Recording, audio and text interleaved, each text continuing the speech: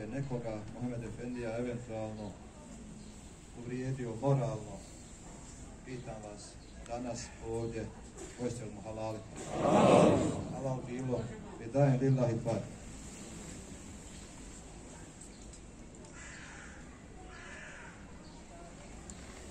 Zamolit ćemo vas koliko god